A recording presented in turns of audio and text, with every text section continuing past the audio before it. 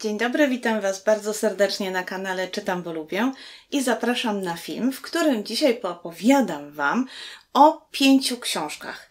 Książkach, które łączy jedna rzecz. Nie pamiętam tytułu, ale okładka była niebieska. Więc Mamy tutaj książki z niebieskimi okładkami. Akurat tak się dziwnie złożyło, kiedy zaczęłam układać książki do dzisiejszego odcinka, że pierwsze trzy, które wzięłam, miały niebieskie okładki, wobec tego dobrałam jeszcze dwie z niedawno przeczytanych, które takie okładki mają. Zaczynamy dzisiaj od książki, która jest największa gabarytowo, ale też taka, o której chyba najwięcej chciałabym Wam powiedzieć. To legendarni fotografowie w Polsce z agencji Magnum. To jest taki album, który został wydany przez Dom Spotkań z Historią w Warszawie i przedstawia fotografie Polski od lat 40. do lat końcówki lat 80., zrobione przez fotografów klasy światowej. Fotografów, których albumy, nazwiska na pewno widzieliście i na pewno znacie. Między innymi jest to Robert Capa czy też Henri Cartier-Bresson. Ale tych dużych nazwisk jest tutaj więcej. Ten album skonstruowany jest w taki sposób, że na początku mamy rozmowę autorki, która dokonała doboru tych zdjęć, czyli Anny Brzezińskiej, z znanym polskim fotografem, czyli z Chrisem Nidentalem. Następnie mamy krótką historię agencji fotograficznej Magnum oraz jeszcze jeden taki krótki rozdział do przeczytania, napisany przez Małgorzatę Purzyńską, historię z żelaznej kurtyny, która opowiada właśnie o tym albumie, o zdjęciach, które zostały zrobione przez fotografów. I powiem Wam, że bardzo lubię ten album. To jest album, który pokazuje Polskę zniszczoną. Polskę, która tak naprawdę no, nie była znana na Zachodzie, ponieważ niewielu fotografów zachodnich mogło być w Polsce, mogło przyjeżdżać do Polski. Niewielu mogło te zdjęcia z Polski również wywozić, zwłaszcza zdjęcia robione w takich sytuacjach trudnych, kryzysowych, ciężkich dla Polski. No oni mogli się liczyć nawet z więzieniem, a już na pewno mogli dostać wilczy bilet i nigdy więcej do Polski nie przyjechać. Zdjęcie rozpoczynające cały album to jest fotografia z 1947 roku, przedstawiająca Warszawę, centrum Warszawy, jak widzicie, mamy tutaj ruiny. Nie ma ani jednego domu, który byłby w całości. Ale co mnie niesamowicie tutaj zachwyca, to to, że kobiety idące na tym zdjęciu są tak elegancko, tak pięknie, tak czysto ubrane. To jest dla mnie niesamowite. Ten kontrast między dbałością tych Polek, a stanem, w jakim znajduje się miasto i w jakim prawdopodobnie również znajdują się ich mieszkania, bo jak wiemy, Warszawa była w większości zniszczona i niewiele zostało mieszkań takich, które nadawały się od razu bezpośrednio do zamieszkania. Te kobiety po prostu są szokująco pięknie ubrane, prawdopodobnie idą do pracy. To jest dla mnie niesamowita fotografia. Następne zdjęcia to są fotografie, które mm, również zapadają w pamięć, zrobione przez Davida Seymoura, który był polskim Żydem. Udało mu się uciec w latach 30. z Polski. Może nie tyle uciec, co wyjechać na zachód, ale jego praktycznie cała rodzina w Polsce została.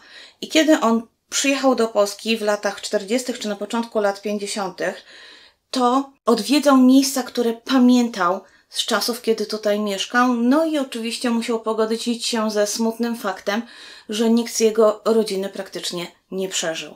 I on pracował na zlecenie, zdaje się, UNICEF-u i robił zdjęcia dzieci w Europie Wschodniej, nie tylko w Polsce.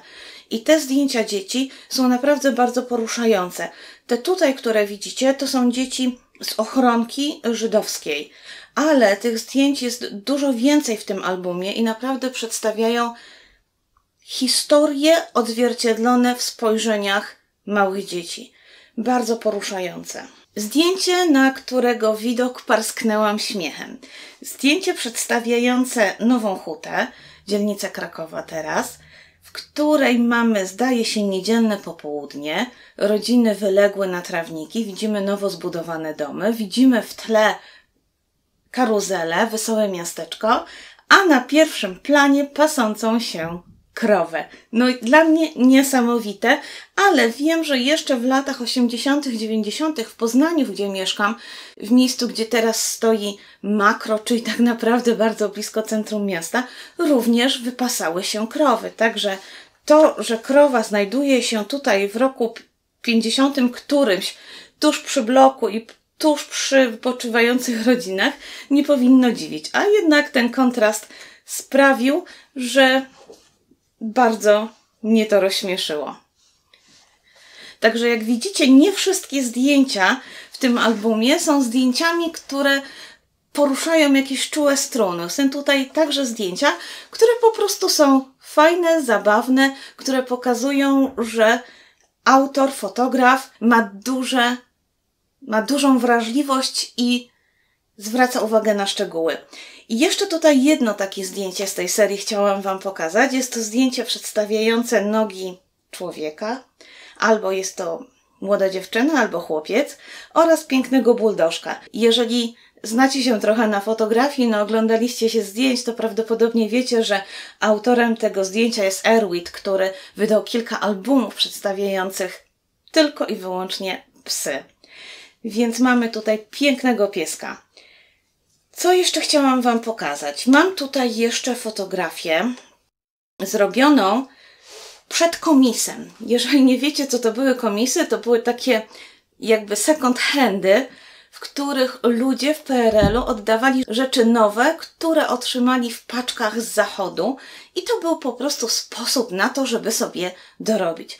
Te rzeczy z zachodu były naprawdę nieosiągalne praktycznie dla zwykłego szarego człowieka. One były niesamowicie drogie. Aby cokolwiek sobie kupić w takim komisie, trzeba było miesiącami odkładać. I jeżeli dobrze się przyjrzymy na to, co jest na tej wystawie komisu i na co tak łapczywie patrzą ludzie z za szyby, to to są takie straszne pierdoły, jakiś plastikowy koszyczek, jakaś brzydka brzydka lalka, chyba nożyczki czy coś takiego, czy to jest długopis. No po prostu nic ciekawego, co też pokazuje nam to zdjęcie, że w Polsce absolutnie nic nie było, że każda pierdoła, która była z zachodu, która miała odrobinę koloru, okazywała się po prostu szczytem marzeń. I chciałam też jeszcze Wam opowiedzieć o tym zdjęciu z Miss Polonią. To były pierwsze w Polsce powojennej wybory Miss Polonii. One się odbywały w Sopocie i zgromadziły taką rzeszę wielbicieli tego widowiska, że milicja musiała zamknąć kasyno, ponieważ tam się pierwotnie miały odbywać te wybory. I wybory odbyły się na świeżym powietrzu, tuż przy plaży. Zobaczcie na te tłumy, zobaczcie na kostiumy i buty, jakie nosiły ówczesne kandydatki na Miss Polonię. No i zobaczcie też na figury, jakie miały. Także to jest album Legendarni Fotografowie w Polsce. Naprawdę bardzo, bardzo Wam go polecam. Chciałam Wam opowiedzieć o znacznie większej liczbie zdjęć. Zobaczcie, ile ich sobie zaznaczyłam, a kilka w ogóle nalepek wyjęłam. No ale myślę, że najfajniej by było, jakbyście sami sobie kupili, czy też zajrzeli do tego albumu i sami przefiltrowali te zdjęcia przez własną wrażliwość. Ja opowiedziałam o tych, które na mnie zrobiły bardzo duże wrażenie. A teraz przejdźmy do książek, które też mają niebieskie okładki, ale są to książki już niezwiązane z fotografią. Mamy tutaj jeden kryminał, dwie książki dla dzieci i jedną książkę taką psychologiczną. I zaczniemy od kryminału, który bardzo mi się podoba. On w ogóle jest częścią serii, która mnie fascynowała od paru lat. Został wydany w 2015 roku w Polsce. W Niemczech został wydany wcześniej i jest to Serdeczna krew, napisana przez Michaela Kobra i Volkera Klubfela. Wydaje mi się, że w Polsce ukazały się trzy części tych kryminałów. Ta jest ostatnia, którą przeczytałam. Wcześniej przeczytałam wszystkie pozostałe, które u nas wyszły. No i strasznie jest mi smutno, że po pierwsze wydawnictwo Akcent chyba już w ogóle nie istnieje, po drugie, że ta seria nigdy nie została porządnie rozpoczęta ani porządnie zakończona, ponieważ zostały u nas wydane książki jakieś takie ze środka całego cyklu, a ja ten cykl bardzo lubię i już Wam mówię dlaczego. To się w ogóle dzieje w Bawarii. Głównym bohaterem jest Kluftfinger. On jest komisarzem policji i on jest dobrym policjantem, aczkolwiek człowiekiem jest bardzo zabawnym i bardzo śmiesznym. Także ta książka tak naprawdę świetnie wpisuje nam się w komedie kryminalne, które teraz są bardzo, bardzo modne. Także wydawcy, przypominam, istnieje taki cykl, nie do końca wydany u nas w Polsce. Zajmijcie się nim, bo to naprawdę są świetne książki. I koń, kończąc apel do wydawców, mówię co dalej. Kluftfinger generalnie nie radzi sobie w kontaktach z ludźmi. On nie wie, jak się zachować, zawsze po prostu wali jakieś gafy. Nie potrafi także obsługiwać sprzętu, nie wie, jak się tam za bardzo posługiwać komórką. I w tej części, podczas konferencji prasowej, która zgromadziła przed telewizorami naprawdę mnóstwo widzów, Kluftfinger dostaje telefon. Oczywiście zapomniał wyłączyć głosu, dźwięku w komórce, być może nawet nie wiedział, że taka funkcja istnieje i odebrał na wizji. Przekonany jest, że zadzwoniono do niego z miejsca zabójstwa, że usłyszał, jak ktoś ginie. Wszyscy się z niego śmieją, bo generalnie są to jakieś takie dźwięki nieartykułowane. No ale on upiera się i bada tę sprawę. I okazuje się, że miał rację. Rzeczywiście trafia najpierw na miejsce popełnienia zbrodni, które jest zalane krwią, a później udaje się odnaleźć człowieka, który stracił życie. Ta książka opowiada o zagadce kryminalnej związanej z tytułową krwią. Nie będę Wam za dużo zdradzała, ale powiem, że bardzo, bardzo polecam te kryminały. Na pewno jeszcze znajdziecie je w, na przykład w bibliotekach, być może w jakichś miejscach, gdzie można kupić książki używane. I warto się zapoznać, ponieważ zaręczam, że trudno nie lubić Klufzingera. Następna książka to Wizyta Katariny Wolzhammer. To zdaje się jest również niemiecka pisarka, ale nie jestem przekonana. Urodziła się w Niemczech, tak. To jest taka króciutka książeczka, która opowiada o pewnej wizycie u lekarza, u lekarza, który jest prawdopodobnie ginekologiem, na 100% tego nie wiemy, bo być może jest także psychologiem przy okazji, ponieważ pacjentka, która jest na tej wizycie, opowiada o swoim życiu. Ten lekarz jest zupełnie stroną nieaktywną, jest całkowicie bierny, nic nie mówi i cała ta książka jest zapisem monologu pacjentki która identyfikuje się między innymi poprzez to, że jest Niemką, że jest potomkinią narodu, który wywołał drugą, pierwszą wojnę światową również, potomkinią narodu, który wychował Hitlera. I ona opowiada także tutaj o swoich związkach z mężczyznami, o swoich związkach z rodziną. Powiem Wam, że czytało mi się to przyjemnie. Ta książka porusza sporo wątków, ale też w pewnym momencie dość mocno nas zaskakuje. Także jeżeli lubicie takie powieści psychologiczne współczesne, to jak najbardziej wizytę Wam polecam i nie chcę więcej zdradzać, o czym jeszcze jest ta książka, bo wiecie, mogę się rozpędzić i opowiedzieć za dużo, a aż tak dużo tutaj do opowiadania to nie ma. Więc polecam, polecam, jeszcze raz polecam. Książka, której w ogóle nie zamawiałam, bo pomyślałam sobie, że już mi się nie chce czytać tego autora. Mam focha, ponieważ on porzucił Szackiego. Ale przysłano mi tę książkę i ja ją przeczytałam. I okazało się, że opowieść dla dzieci, czy też dla młodszej młodzieży Zygmunta Miłoszewskiego pod tytułem Hydropolis, pod tytułem Uciekaj, to jest świetna książka przygodowa. Autor stworzył tutaj fajny taki świat, który jest pod wodą. W tym podwodnym świecie mieszkają ludzie i oczywiście muszą się przez cały czas kierować wieloma zasadami, aby pod tą wodą przeżyć, aby nie spowodować żadnego wypadku, aby nie doszło do rozszczelnienia i aby wszyscy byli bezpieczni. Bohaterem tutaj jest taki chłopak, o którym się mówi Emek, on ma na imię Leonard i ten chłopiec ma pewne przygody, ale przede wszystkim jest dość bezczelny. Jest to taki chłopak inteligentny, myślący, ale bardzo często działa szybciej niż pomyśli.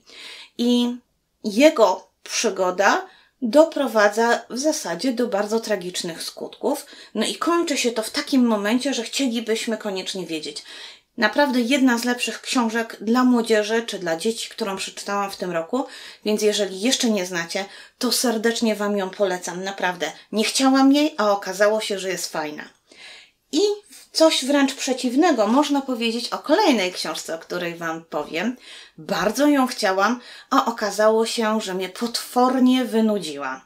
Książka w tej powieści Wszyscy umierają. Napisał tę książkę Beka Adamaszwili. To jest gruziński autor, podobno bardzo popularny u siebie w kraju. I ta książka miała opowiadać o książkach.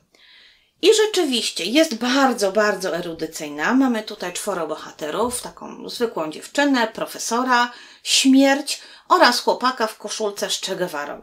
I oni podróżują w czasie, podróżują w przestrzeni, przenoszą się z książki do książki i mają do spełnienia pewną misję. I powiem Wam, że tych nawiązań do różnych powieści, do różnych autorów, do różnych książek jest tutaj setki. Naprawdę. Trzeba się mocno wyrabiać, więc trudno Trudno mi uwierzyć, że jest to powieść dla młodzieży, bo młodzież prawdopodobnie 99% tych książek w ogóle nie czytała lub nawet może nie wiedzieć o ich istnieniu. Mnie to męczyło. Ta książka, miałam wrażenie, była bardziej eksperymentem literackim niż powieścią, którą miałoby się fajnie czytać ale widziałam, że dostaje ona sporo dobrych recenzji. Więc być może ja tak jakoś dziwnie na nią zareagowałam, że szybko mnie zaczęła ona irytować. Być może też nie trafiła na odpowiedni czas.